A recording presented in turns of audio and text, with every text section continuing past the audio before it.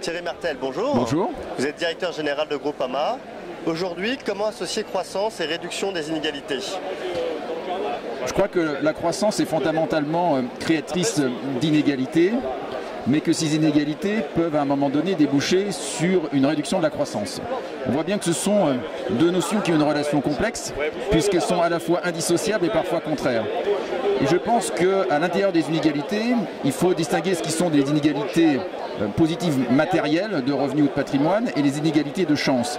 Et qu'au fond, ce qui est le premier moteur de la croissance, c'est de donner à chacun les meilleures chances de développer toutes ses capacités et de réduire les inégalités face à la possibilité de profiter de la croissance. Comment les assurances peuvent-elles jouer un rôle concret dans cet effort? Alors les assurances euh, peuvent jouer un rôle concret de plusieurs manières. Euh, la première, par leur métier même. Euh, l'assurance a, pour vocation de redonner à chacun la possibilité de rebondir après un coup dur face quelque part à une inégalité du sort qui fait qu'à un moment donné, tel ou tel est frappé par un sinistre alors que ça aurait très bien pu tomber sur son voisin.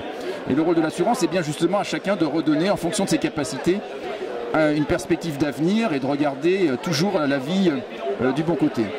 On peut également intervenir à travers euh, des euh, mécanismes de prélèvement des cotisations, et c'est vrai en assurance de personnes, qui ne soient pas strictement basés sur le risque, mais sur des facteurs plus équitables à l'intérieur de communautés solidaires ou qui sont liées par un pacte social, et je pense euh, à l'entreprise.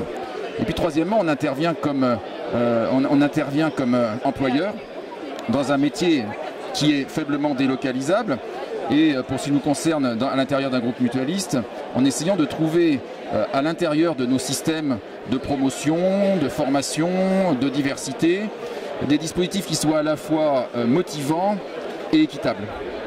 Les inégalités peuvent-elles être euh, peut-être réduites mais pas totalement effacées. Pour vous, quelle est finalement une conception juste de l'inégalité? Qu'est-ce qu'une inégalité juste?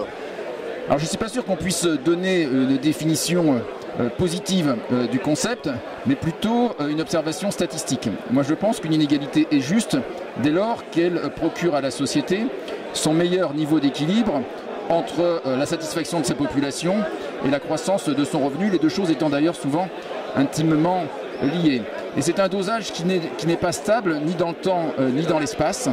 on voit que les inégalités peuvent être mieux ressenties à certaines périodes quand il y a une perspective d'avenir et que chacun pense que demain sera meilleur qu'aujourd'hui, elles sont plus difficiles à accepter quand euh, les temps deviennent durs comme c'est aujourd'hui, où au fond, euh, l'augmentation des revenus repose plus, en tout cas dans l'esprit euh, des plus démunis, sur une autre répartition de la richesse plutôt que sur la création de richesse. Thierry Martel, merci beaucoup. Merci beaucoup.